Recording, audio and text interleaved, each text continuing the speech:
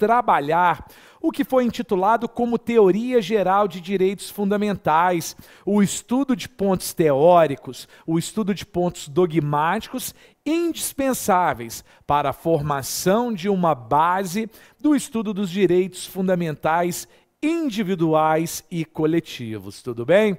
Nós vamos passar o nosso estudo, como dito, por pontos. E o primeiro ponto que a gente precisa trabalhar é promover uma distinção entre direitos fundamentais e direitos humanos.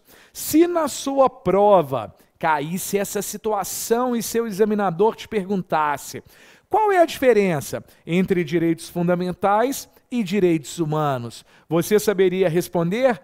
Precisamos então dominar o ponto comum entre os dois institutos e o ponto de distinção. Vejam o seguinte: quando nós falamos de direitos fundamentais e direitos humanos, ambos possuem o ponto comum de promover uma tutela de determinados direitos, direitos elementares, direitos basilares indispensáveis ao ser humano. Direitos refletidos na dignidade humana, na liberdade humana, bem como na efetivação do princípio da igualdade. Então vejam o seguinte: ponto comum entre direitos fundamentais e direitos humanos. Ambos tutelam direitos elementares íncitos ao ser humano, direitos relacionados à liberdade, dignidade e igualdade. Porém, existe diferença entre eles. E precisamos ter em mente o seguinte: os direitos fundamentais, eles são conquistados e previstos em documentos internos, são internalizados em determinado ordenamento jurídico, ao passo em que os direitos humanos, eles são declarados em tratados internacionais. Ponto comum: tutela de direitos elementares, dignidade, liberdade e igualdade. Ponto de distinção: âmbito de concretização, direitos fundamentais concretizados no âmbito interno, direitos humanos declarados em tratados internacionais, ou seja, algo que foi postulado positivado em âmbito externo, tudo bem? Vamos avançar? E avançando o que nós temos, precisamos entender, como segundo ponto, a diferença entre direitos e garantias fundamentais. É muito comum o uso indiscriminado das duas expressões, como se fosse algo único, direitos e garantias fundamentais. Mas não é algo único e nós precisamos ser técnicos e conhecer todas essas distinções. Vejam o seguinte: quando se fala de direitos e garantias fundamentais, ou seja, direitos fundamentais e garantias fundamentais. Precisamos compreender a diferença. Além disso, precisamos abrir o nosso material no artigo 5 incisos 54 e 68 da Constituição. Com qual objetivo? Promover uma materialização da diferenciação entre os institutos. Vejam o seguinte: direitos fundamentais. O que seriam?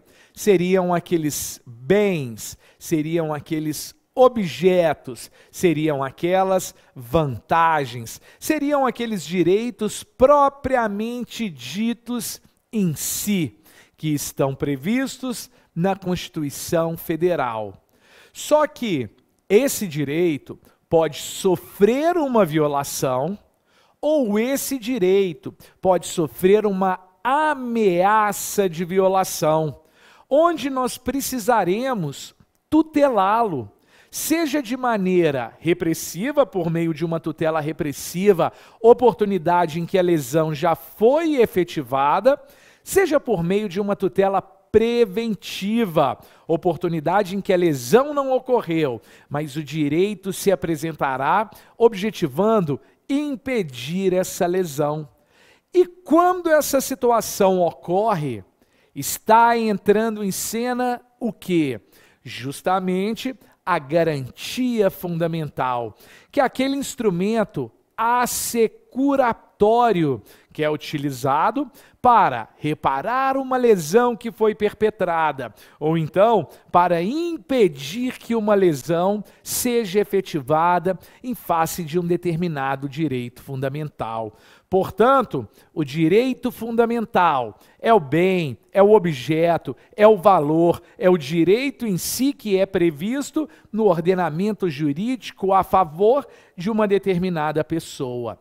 Se esse direito foi violado ou está sofrendo uma ameaça de violação, entra em cena o quê? Um instrumento assecuratório para reparar aquela lesão ou impedir que determinada lesão seja efetivada, seja perpetrada. Entra em cena a garantia fundamental. Vamos dar uma olhadinha aqui? Olhem o que nós temos. Como direito fundamental, no artigo 5 inciso 54, e também no inciso 15 da Constituição, nós temos a consagração da liberdade de locomoção. Se essa liberdade de locomoção ela é violada, se essa liberdade de locomoção ela sofre alguma ameaça, entra em cena a garantia fundamental, especificada no remédio constitucional, na ação constitucional do habeas corpus. Então, nesses dois grupos, nós temos a materialização perfeita do direito, do bem, do objeto, da vantagem, e caso ele seja violado ou ameaçado de lesão, entra em cena um instrumento assecuratório que vai impedir a realização dessa lesão ou que vai reparar aquela lesão que foi perpetrada. Tudo bem? Podemos ir para o terceiro ponto, e nós, no nosso terceiro ponto nós temos o seguinte: como funciona? Como é a natureza do rol dos direitos fundamentais? Os direitos fundamentais, eles vêm previstos na Constituição em um rol taxativo ou em um rol exemplificativo? Vejam aqui, para responder essa pergunta, precisamos trabalhar o artigo 5 parágrafo 2 da Constituição, compreender a ideia dessa norma e, além disso, promover uma distinção entre fundamentalidade formal e material dos direitos fundamentais. Vejam o seguinte: quando falamos de direitos fundamentais. A primeira coisa que nós precisamos ter em mente é que, dentro da Constituição Federal, direitos fundamentais não se restringem, óbvio, ao rol do artigo 5 da Constituição. Dentro da Constituição Federal, nós temos direitos fundamentais espalhados por todas as normas constitucionais por diversos pontos do nosso texto constitucional, nós temos direitos fundamentais, nós temos garantias fundamentais. Vamos para outra ponta da Constituição Federal. Imaginem o artigo 155 da Constituição, que está dentro do sistema tributário nacional. O que, que nós temos ali? Existe alguns princípios de direito tributário na Constituição Federal, como, por exemplo, a anterioridade anual e a anterioridade nonagesimal. Isso significa que nenhum tributo que foi instituído em determinado exercício financeiro pode ser cobrado naquele mesmo exercício financeiro ou antes de decorridos 90 dias da sua instituição. O que, que nós temos aí? Uma garantia fundamental, melhor dizendo, sendo técnico, um direito fundamental que é conferido ao contribuinte, no que diz respeito a um planejamento de cobrança em relação a determinada instituição tributária, ou seja, um direito fundamental que não está previsto no rol do artigo 5 da Constituição. Mas para além do texto da Constituição, é possível existirem outros direitos fundamentais? Vejam o seguinte: o artigo 5, parágrafo 2, ele traz a seguinte redação: direitos e garantias expressos nesta Constituição não excluem outros decorrentes do regime e dos princípios adotados pela nossa Constituição, bem como dos tratados internacionais em que a República Federativa do Brasil seja parte. Qual que é a ideia dessa norma? É trazer para o nosso ordenamento jurídico uma verdadeira cláusula de complementariedade. Essa norma é uma norma geral inclusiva. Isso significa que o rol dos direitos fundamentais é um rol que não se esgota no texto da Constituição Federal. E outros direitos fundamentais podem ser utilizados no nosso ordenamento jurídico caso eles decorram do regime ou dos princípios adotados pelo nosso Estado, bem como caso eles decorram de tratados internacionais em que a República Federativa do Brasil seja subscritora. Então tenham atenção a isso. Direitos fundamentais não se esgotando no texto da Constituição Federal, indo além, sendo direitos fundamentais, direitos e garantias fundamentais que decorrem do regime, dos princípios adotados pelo nosso Estado ou de tratados internacionais em que ele seja signatário, podem ser utilizados em nosso ordenamento jurídico. Vejam o seguinte: sobre essa situação, é necessário a gente promover uma distinção entre fundamentalidade formal e material. Vejam o seguinte: quando nós falamos da formal, o que interessa é a forma, o que interessa é a rotulagem, o que interessa é a etiquetagem. Quando nós falamos em material, o que interessa é a matéria. Vejam aqui, essa distinção é importante, porque na formal são considerados direitos fundamentais, direitos e garantias fundamentais, unicamente aqueles que estão formalizados no texto constitucional.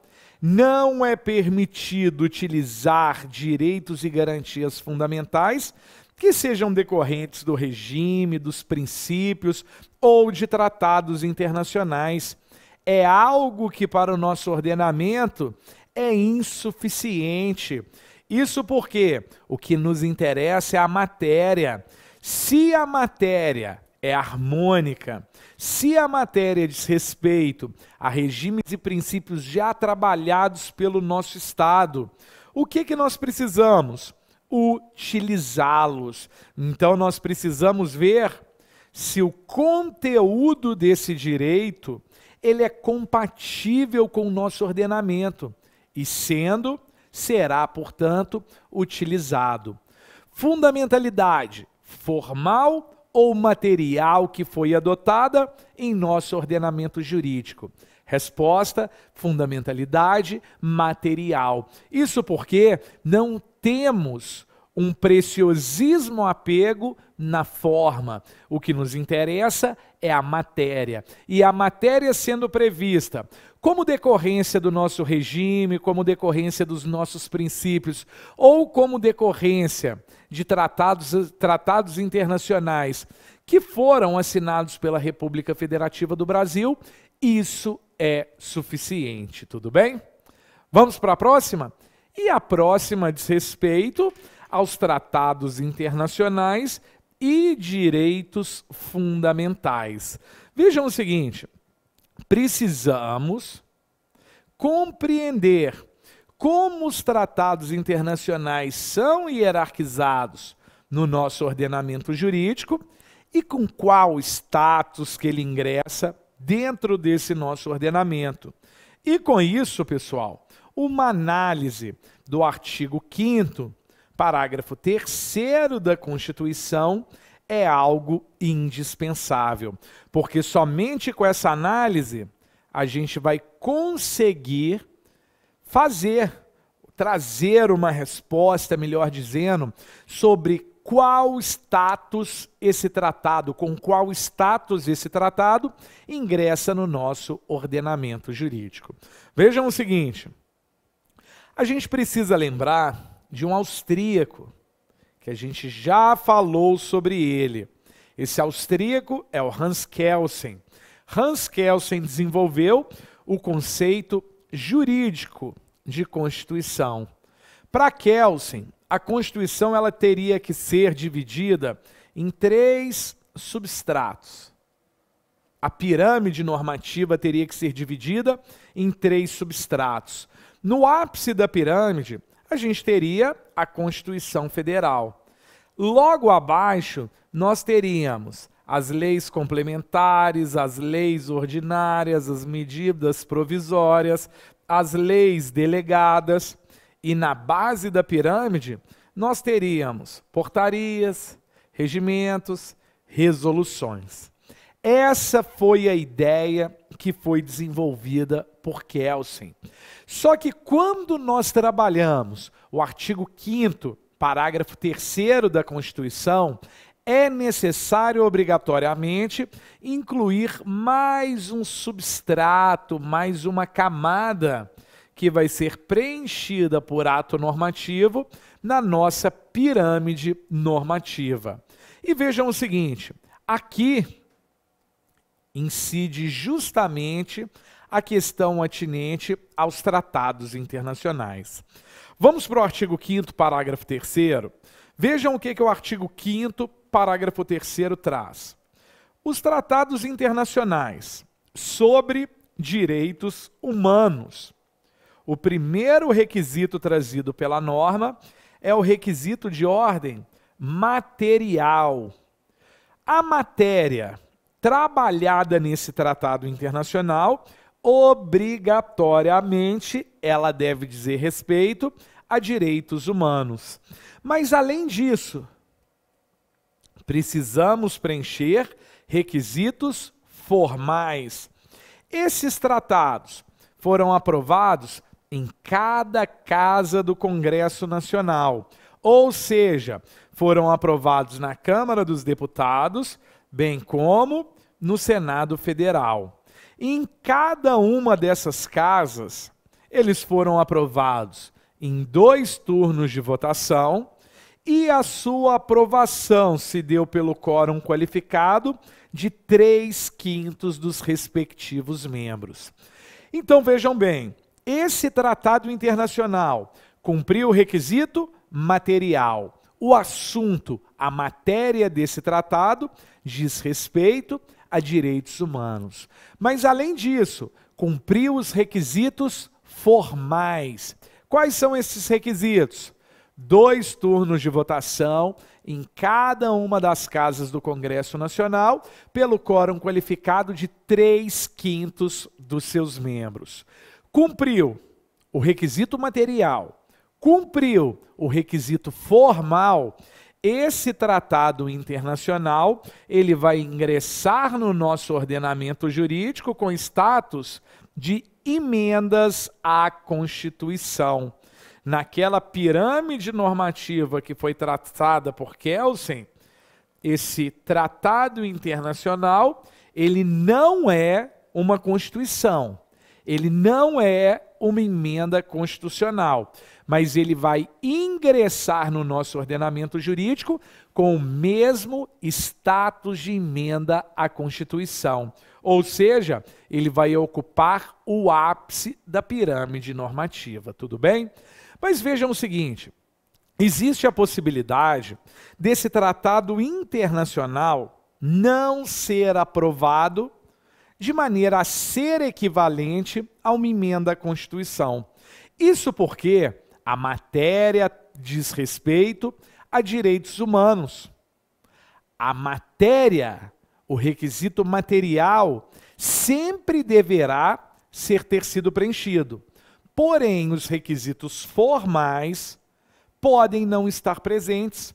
Então, esse tratado internacional, dizendo respeito a direitos humanos, mas sem preencher algum dos requisitos formais, algum dos três requisitos formais, ou não atingiu o quórum qualificado, ou não houve dois turnos de votação, ou não foi aprovado em ambas as casas do Congresso. Mas a matéria por ele tratada diz respeito a direitos humanos. O que, que acontece nessa situação? Ele ingressa no ordenamento jurídico aqui, ó, com status supralegal, ou seja, ele está acima da legislação, porém, ele está abaixo da Constituição Federal. Então tenham muita atenção. Porque no primeiro caso, para ocupar o ápice da pirâmide normativa, obrigatoriamente ele preencheu o requisito material, bem como os requisitos formais. Mas caso ele preencha o requisito material, o assunto nele debatido diga respeito a direitos humanos, mas não consiga preencher os requisitos formais, ele vai ingressar no nosso ordenamento jurídico com status supralegal, acima da legislação, porém abaixo da Constituição Federal. E vejam o seguinte: esse tratado que ingressou no ordenamento jurídico dessa forma, muita atenção, ele não possui o poder de revogar a legislação hierarquicamente inferior mas ele tem um poder importante, que é o efeito paralisante. Apesar de não conseguir revogar a legislação infra que lhe for contrária, ele consegue paralisar os efeitos dessa legislação. E quando nós formos estudar em direitos individuais a prisão civil por dívidas, especificamente a do depositário infiel, a gente vai entender como que funciona essa situação, tudo bem? Vejam o seguinte, tratados que nós precisamos ter em mente que foram aprovados sobre esse rito. Tratado de Marrakech, Convenção Internacional dos Direitos das Pessoas com Deficiência e recentemente a convenção que combate todas as formas de racismo, bem como outras formas de discriminação. Três tratados internacionais e um deles que possui o protocolo facultativo, que diz respeito à Convenção de Nova York. Então, por isso, alguns autores falam que são quatro, mas particularmente entendo que são três tratados internacionais. Marrakech, pessoas com deficiência e combate ao racismo e qualquer forma de discriminação. Tudo bem?